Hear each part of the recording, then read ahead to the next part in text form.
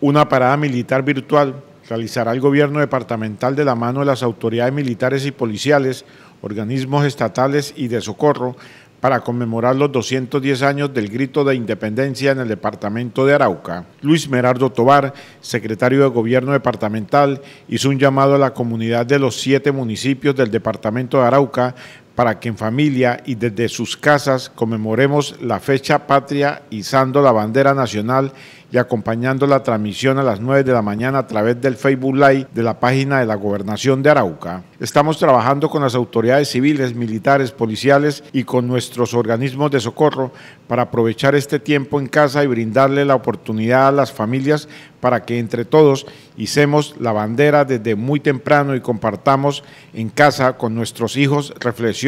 sobre la importancia de la fecha el gobernador de Arauca, José Facundo Castillo Cisneros, y los siete alcaldes del departamento de Arauca, acompañados de las instituciones, rendirán un homenaje significativo a lo que ha sido por más de dos siglos la oportunidad que tuvimos los colombianos de tener libertad. El día 20 de julio conmemoramos 210 años de, eh, grito de independencia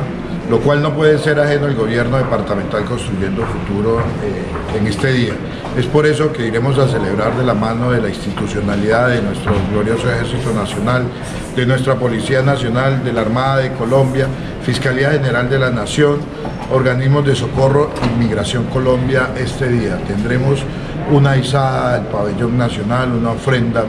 a los héroes caídos, un minuto de silencio, palabras de nuestro señor gobernador del departamento de Arauca,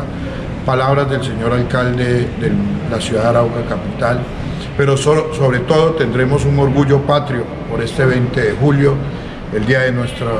eh, gloriosa eh, Ejército Nacional, de nuestra Policía Nacional y de las demás instituciones que hacen parte de nuestras fuerzas públicas.